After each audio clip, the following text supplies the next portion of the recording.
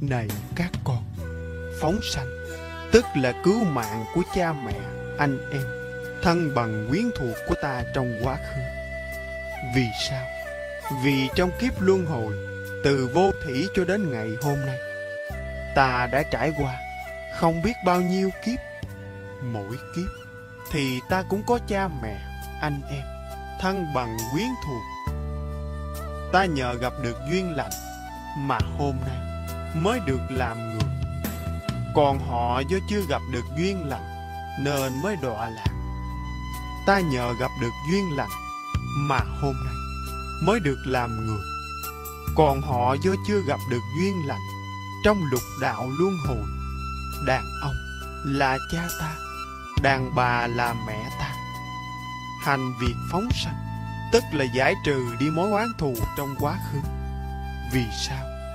Vì trên đường sanh tử, ta và chúng sanh đã từng là kẻ oán người thù, từng ăn thịt, giết hại lẫn nhau.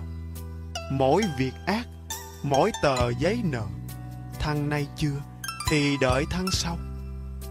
Vì vậy mà chúng ta hôm nay phát tâm sám hối, ăn chay, niệm Phật, hồi hướng công đức cho oan gia trái chủ và thực hành việc phóng sanh tức là ta đã giải trừ đi mối oán thù trong quá khứ vậy. Phóng sanh, tức là ta đã cứu được một vị Phật ở tương lai.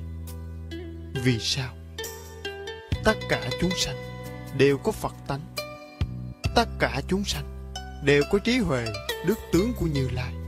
Nhưng vì do vọng tưởng, chấp trước nên không thể chứng đắc. Hay là các chúng sanh đều có như ta.